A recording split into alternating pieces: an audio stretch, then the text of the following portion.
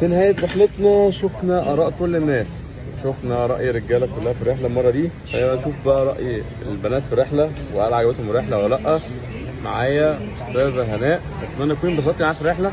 انبسطت جدا جدا جدا. رحلة جميلة وأستاذ عادل آه، خدوم جدا. ما بيسيبش حد في المطار.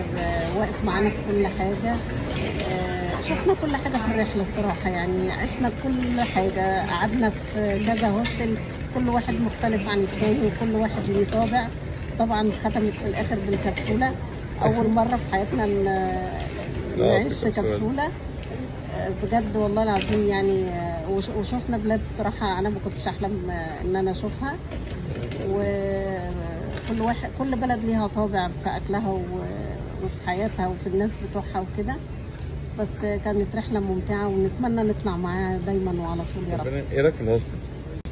الهوستل كل أنواع الهوستل الصراحة كانت جميلة الهوستل أنت جربتيها والله دي أول مرة في حياتي أجربها بس حاجة يعني ممتعة مش وحشة يعني هتجربيها تاني؟ حابة شاء الله؟ بإذن الله نحوش بس كده ونطلع تاني إن شاء الله تقولي إيه للناس طيب؟ حاجة كده تقولي لهم لو حد سافر معايا تاني يعني آه، بجد هي آه، رحلة مش روتينية م- مش زي الرحلات السياحية آه، يبقى في حاجة محددة لأ هي في حاجات كمان بتطلع في دماغنا كده فجأة فنعملوها. ممكن تطلع آه، في دماغنا نسافروا برضو بلد ما كانتش محطوطة في الخطة ونطلعها ودي كنا هنعملوها بس يعني إيه ما حصلش نصيب.